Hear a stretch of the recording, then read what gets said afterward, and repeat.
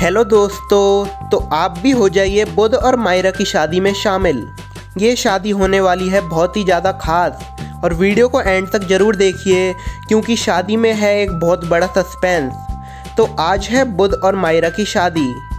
मायरा मेहंदी लगवाने में बिज़ी है, और मायरा की मेहंदी सेरेमनी चल रही है, और उसकी दोस्त शिजुका उसके साथ ही खड़ी हुई है। और वहाँ पर बुद्ध भी बद्रीनाथ के साथ अपने कमरे में तैयार हो रहा है। बुद्ध बहुत ही खुश होता है और बद्रीनाथ से बोलता है, आज मेरे सारे सपने पूरे होने जा रहे हैं, मुझे माहिरा बहुत पसंद है। बद्रीनाथ बोलता है हाँ दोस्त, तू बड़ा ही खुश नसीब है, जो तेरी माहिरा के साथ शादी तय हुई है और वह तैयार होने लग जाते हैं। फिर बद्रीनाथ दूल्हे राजा बुद्ध को मैरिज हॉल में ले आता है। वहाँ पर बहुत सारे लोग हार रखे होते हैं बुद्ध की शादी में शामिल होने के लिए। तभी सामने से दुल्हन भी आ जाती है।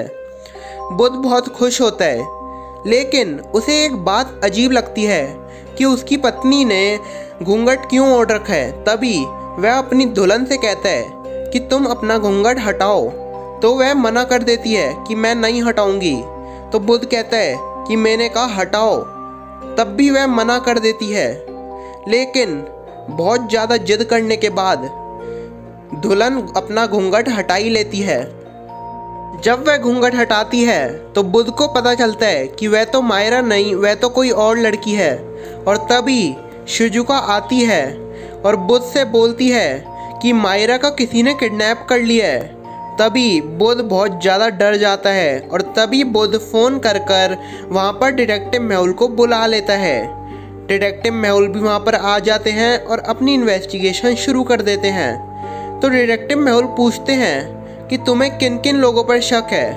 तो बुद्ध बोलता है कि मुझे चार लोगों पर शक है।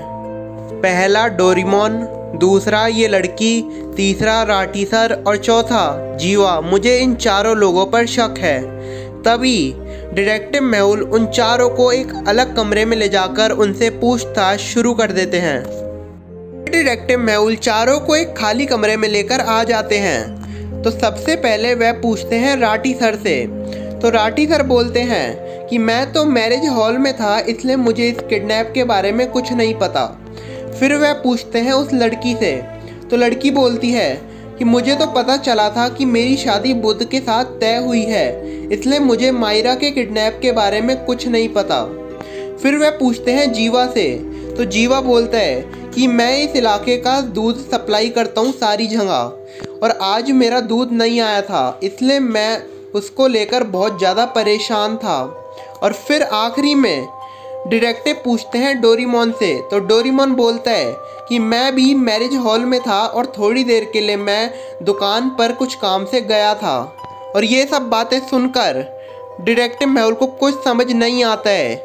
लेकिन डिटेक्टिव मेहुल चारों तरफ़ आँखें घुमाते हैं और बाहर देखते हैं और समझ जाते हैं कि मायरा का किडनैप किसने करा है। तो दोस्तों, क्या आपको पता चला कि मायरा का किडनैप किसने करा है? अगर हाँ तो आप जल्दी से अपना आंसर कमेंट कीजिए।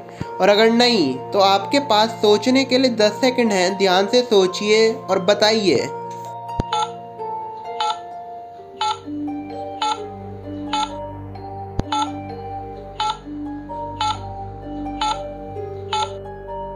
तो दोस्तों, आइए जवाब जानते हैं, उससे पहले वीडियो को लाइक कर दीजिए।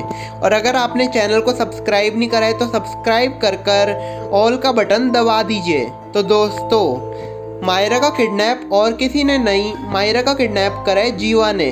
तो आइए जानते हैं कैसे। तो जैसा आप जानते हैं कि जीवा ने कहा था कि आज दूध नहीं आया था और मैं ही यहाँ पर सारे इलाकों का दूध सप्लाई करता हूँ। लेकिन अगर आप ध्यान से देखेंगे, पीछे टेबल पे एक दूध की बहुत बड़ी बोतल पड़ी हुई है। तो इससे पता चलता है कि यहाँ पर दूध आ रखा है। तो इससे पता चलता है कि जीवा ही झूठ बोल रहा है और जीवा ने ही मायरा का किडनैप करा है। फिर तभी डिटेक्टिव जीवा को हथकड़ी पहना देते हैं और उसके बाद बुध और मायरा के शादी हो जाती है और बहुत सारे लोग शामिल होते हैं और डोरीमोन खुशी के मारे उछलने लगता है।